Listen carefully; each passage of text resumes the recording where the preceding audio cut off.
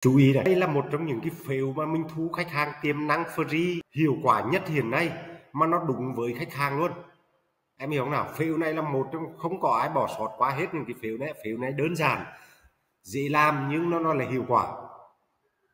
Rất nhiều người thấy đơn giản nhưng không sử dụng những phiếu này trên thế giới. Và thậm chí ở em xem những người thành công, ai cũng có cái phiếu này hết đấy.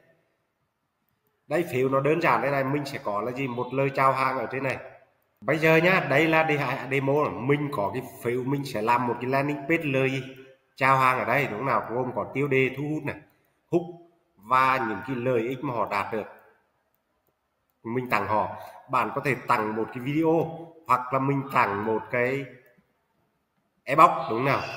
Mà cách đơn giản là gì? Khi họ vào đây, cụ thể là như thế này. Tôi post một cái bài trên Facebook như thế này đi, quay trở lại, đúng nào? Thì mình làm một cái bia sách ở đây, đúng không nào?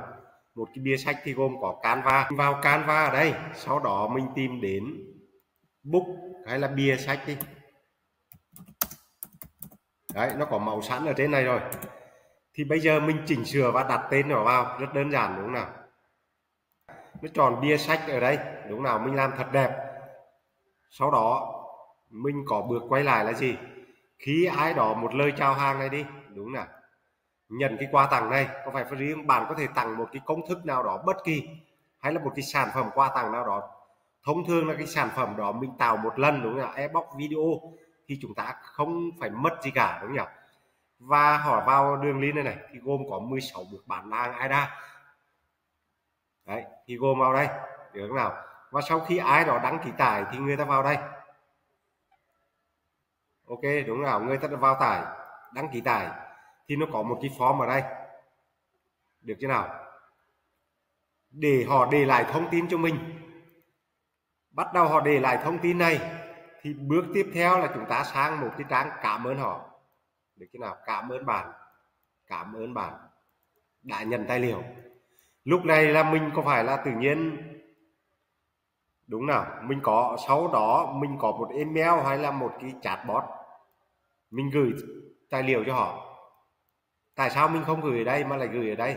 Bởi vì để xác minh ông này là ông thật, ông cần thật và đúng khách hàng tiềm năng của mình, đúng không nhỉ? Nhưng hãy nhớ là sản phẩm này là phải sản phẩm có liên quan đến cái sản phẩm chúng ta chuẩn bị bán sau này. Hiểu không nào? Sau đó, vào đây rồi thì chúng ta sẽ gửi cái email xác nhận và cho họ tải cái video hoặc cái quà tặng này về. Và lúc này có phải là ví dụ ông nhận tài liệu của tôi thì có cái sản phẩm liên quan, đúng không ạ và lúc này tôi có cái email hoặc là chatbot chúng ta chăm sóc chú ý họ. Ở đây. Ngày một. Ví dụ vậy, là chúng ta giới thiệu với bản thân. Ngày thứ hai chúng ta nói về hướng dẫn người ta sử dụng cái sản phẩm đó hiệu quả. Ngày thứ ba bắt đầu mình setting đến sản phẩm. Và ngày thứ tư là mình chào bán hàng. Chào đến cái sản phẩm này tiếp theo thì đấy là cách đơn giản nhất. Kể cả cái phiếu bán sách này cũng vậy thôi ban đầu cho họ thu hút vào đây và mình vào đây và sau này mình có thể là bán thêm sản phẩm up sale, down sale cũng như vậy. Và đấy là cái phiếu đơn giản nhất nhưng này hiệu quả. Sau này khi vào rồi, thì ví dụ bạn, đây tôi ví dụ một cái sản phẩm nào đấy của bạn bất kỳ đi, thì mình setting đến có phải là mình chào bán cái sản phẩm đầu tiên này không? Từ một cái anh miễn phí này. Và tôi đang thu ở rất nhiều người nhận quà của tôi. Tất nhiên mình phải có công cụ để làm điều đó, đúng nhỉ? Nhưng mà phiếu này rất là hiệu quả, bởi vì kể cả chạy là chạy qua tặng người ta dễ nhận, bởi vì người không không rủi ro, đúng không? Người ta chưa phải chi trả, người ta mua thử để trải nghiệm, đúng nhỉ?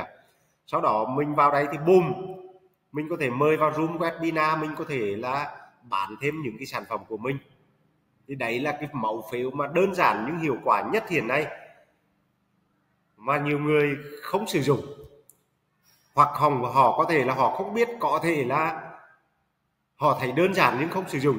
Nhưng em hãy thử xem những ai đang kinh doanh thành công thì họ đều, thậm chí họ có rất nhiều quà tặng khác nhau để thu hút khách hàng tiềm năng. Đúng nào?